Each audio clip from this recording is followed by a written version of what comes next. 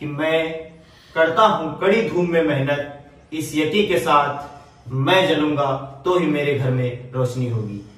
जय हिंद। नमस्कार साथियों, जय हिंद साथियों। मैं प्रियांशु तिवारी, स्वागत करता हूँ आपकी अपनी एकेडमी सीतापुर एकेडमी में। साथियों, आज आप लोग इस वीडियो के माध्यम से जानेंगे कि सीतापुर एकेडमी की फ़ीस क्या है और हॉस्टल चार्ज क्या है। साथियों, हमारे यहाँ की फ़ीस दो हज़ार रूपए रजिस्ट्रेशन फ़ीस है और पैंतालीस सौ रूपए पर मंथ रहने खाने के हैं, जिसमें आपको दो टाइम भोजन दिया जाएगा और सुबह नाश्ते में दलिया, चना, मूंगफली के दाने, सोयाबीन के बीज, मूंग, बादाम, केला और दूध। हफ़्ते में एक दिन स्पेशल डाइट रहती है साथियों, और इवनिंग में आपको मीठा दिया जाएगा, जिसमें काला जाम, खीर, कुछ भी हो सकता है, और दोपहर में आपको दही दिया जाएगा। साथियों, आज वीडियो बनाने का मकसद बस एक ही था ये लड़का हमारे पास एडमिशन के लिए आया हुआ है और ये बहुत ही गरीब परिवार से लड़का है। अगर आप भी इस लड़के की स्टोरी सुनेंगे तो आपको भी रोना आ जाएगा। इसीलिए इस लड़के के ऊपर दो लाइन कि मैं करता हूँ कड़ी धूम में मेहनत इस यति के साथ मैं जलूँगा तो ही मेरे घर में रोशनी होगी। बेटा तुम्हारा क्या नाम है? श्याम कुमार। श्यामू कुमार कहाँ से आए हो? मध्य प्रदेश। मध्य प्रदेश से कहाँ से? भोपाल से। भोपाल से। अच्छा। पिताजी क्या करते हैं पिताजी ने एक्सपायर हो गए लॉकडाउन में। लॉकडाउन में खत्म हो गए थे। अच्छा। क्या कोई बीमारी चलती थी? इनको हार्ट अटैक बीमारी थी। हार्ट अटैक हो गया था। माता जी क्या करती हैं? माता जी को ज़्यादा दिखाई नहीं देता है। माता जी को दिखाई नहीं देता दो बहने दो बहनें भाई कितने हो? अकेले हो तुम? कमाने वाला कोई नहीं। अच्छा। तो घर का कैसे खर्चा चलता है? थोड़ा बहुत हम कमाते थे एक कंप्यूटर चलाते थे। अच्छा। कभी खर्चा घर का चलता था थोड़ा अपना भी थोड़ा बहुत है। अभी आप जब एकेडमी में तैयारी करने लगेंगे तो फिर कैसे काम चलेगा? मजदूरी करेंगे यहीं या कहीं मिल जाएगा घर काम। अच्छा। तभी यहाँ का भी घर का भी थोड़ा बहुत। अच्छा। तो अभी आप क्या चाहते हो? अभी आपसे हेल्प थोड़ा चाहते हैं। हेल्प चाहते हो? क्या किया जाए बताओ? कि मेरे हाफ़ कर दिए हैं पैसे साढ़े छह हज़ार में तीन हज़ार रुपये। जो तुम बोल दो वही कर देंगे। तीन हज़ार रुपये पर मंथ तीन हज़ार रूपए पर मंथ जी जी जी लेकिन इसमें हॉस्टल चार्ज तो मुझे पास से देना होगा पंद्रह सौ रुपये। अब ये और मेरे पास गुंजाइश नहीं है तो तैयारी एकदम जोश के साथ करोगे ना? जी सर। हैं? जी सर। एकदम जोश के साथ? जी सर। बिल्कुल।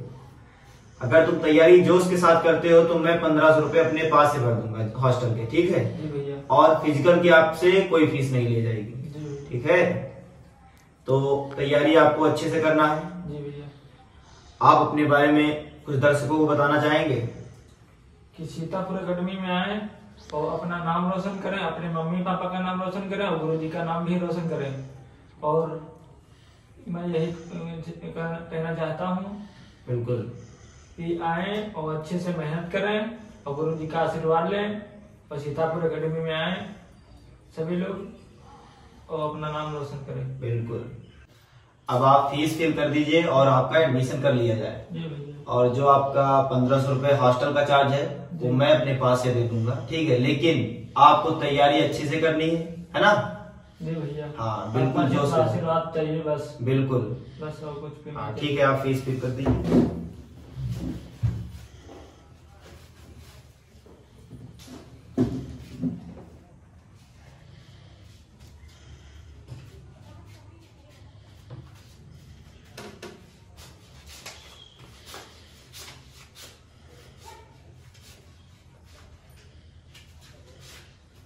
ये रख लो।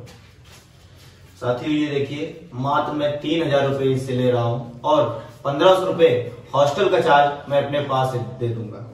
पाँच, दस, पंद्रह, बीस, पच्चीस, सत्ताईस, अट्ठाईस, उनतीस, तीस। अभी आप अब घर वालों को अपने सूचना दे दीजिए कि आपका एडमिशन हो चुका है और आपसे मात्र तीन हज़ार रूपए लिए गए हैं। पंद्रह सौ रुपये सर ने हॉस्टल का चार्ज अपने पास से दे दिया है ना? जी सर। हाँ तो आप घर वालों को बता दीजिए। सर मेरे पास फ़ोन नहीं है। फ़ोन नहीं है आपके पास। नंबर बताए है आपको? जी सर। नंबर बताइए। निन्यानवे चौरासी। एक मिनट। निन्यानवे चौरासी। बासठ। बासठ। तिरसठ। तिरसठ। तेरह तेरह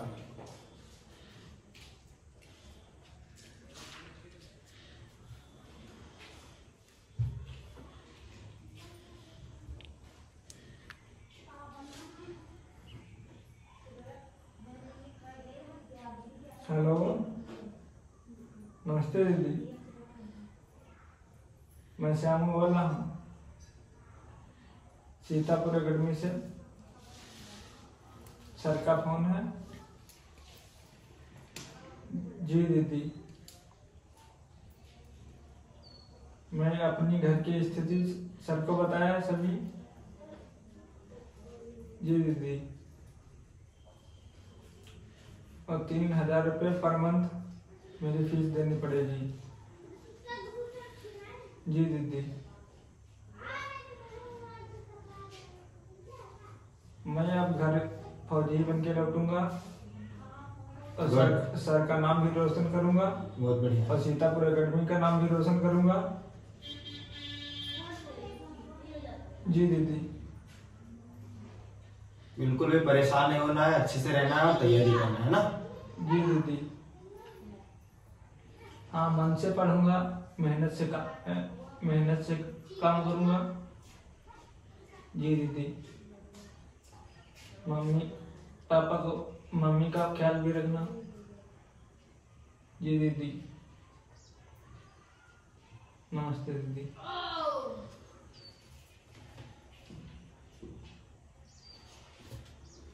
अब आप कुछ संदेश देना चाहेंगे? जी सर।